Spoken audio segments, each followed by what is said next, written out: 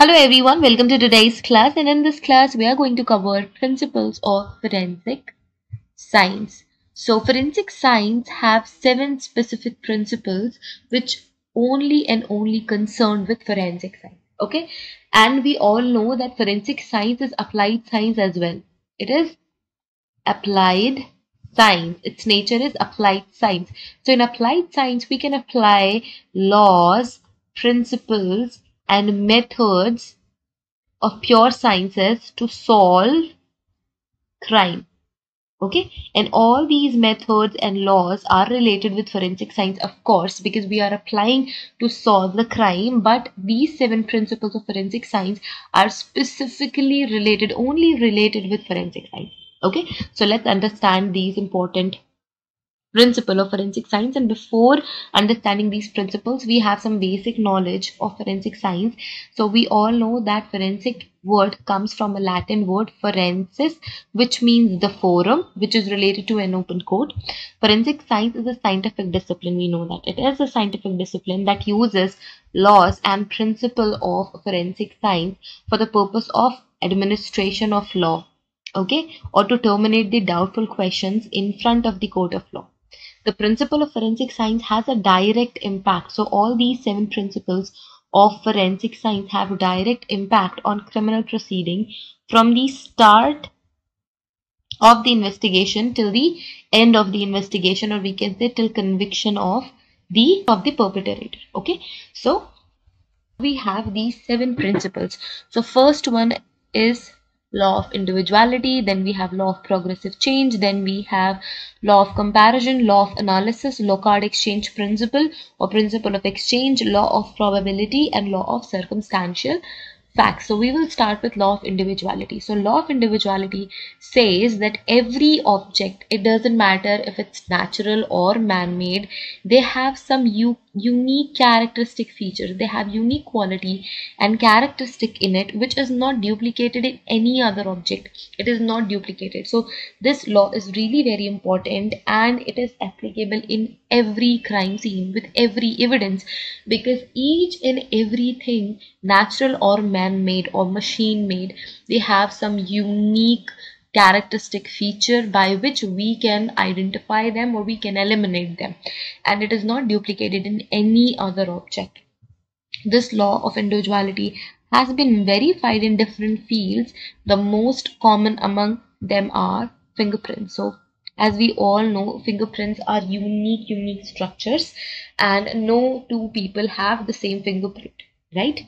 Millions and billions of fingerprint have studied and yet not a single fingerprint has matched with other whether it is twins or two fingers of the same person. We don't have same fingerprint in our two fingers as well. Any two objects such as grains of sand, salt, seed, twins or man-made objects such as currency note, coins, laptop, suits, typewriters, all these things they are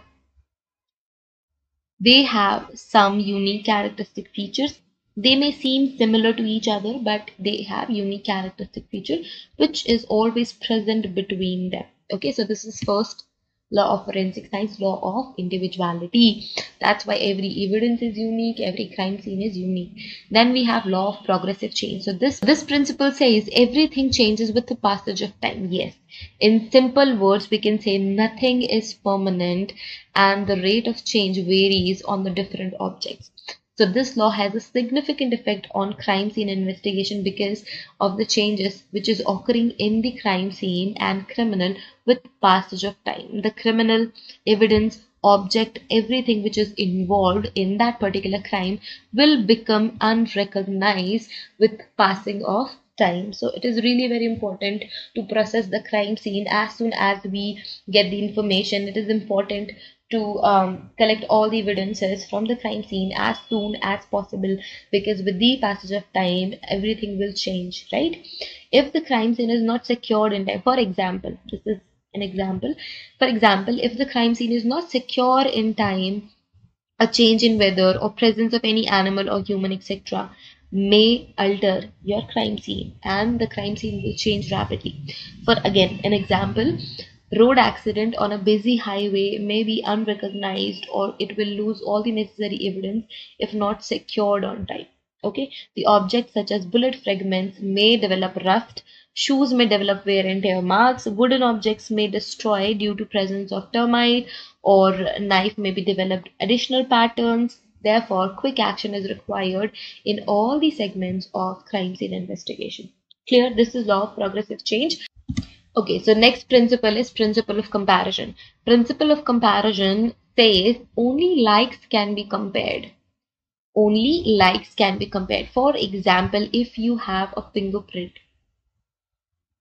if you have a fingerprint from the crime scene, so you can only compare it with fingerprint.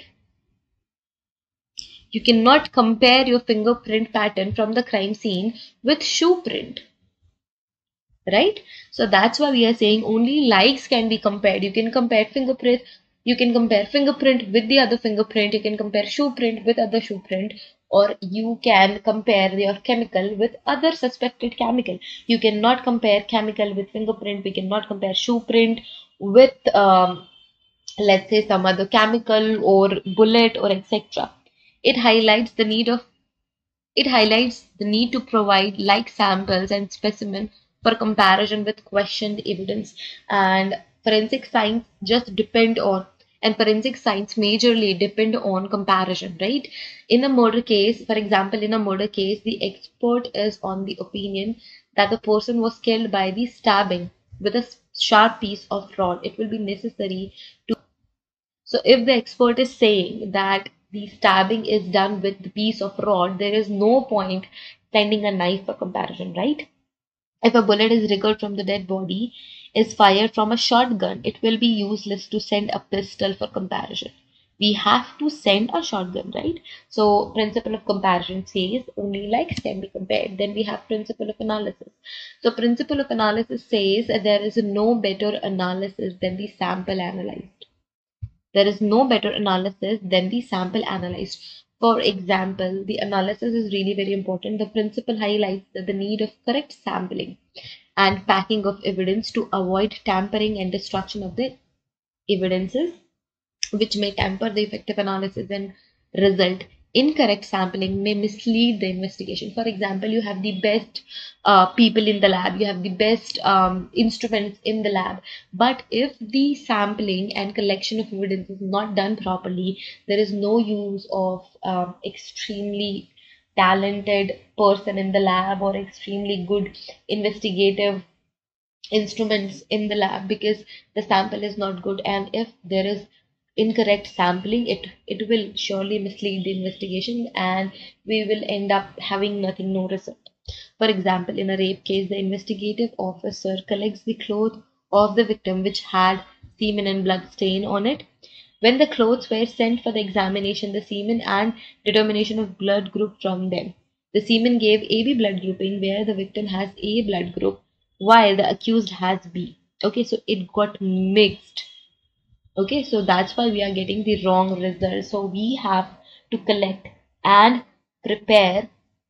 So we have to collect the samples properly and then we have to analyze them properly.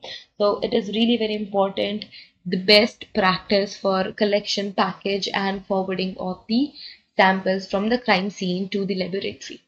Next, we have Locard exchange principle, the most famous principles of forensic science. It says whenever two entities come in contact, whenever it can be two living people or one person is living and the other person is dead or if an object come, came in contact with the person or anything. So anything, if two objects are coming in contact, they will exchange some minute details.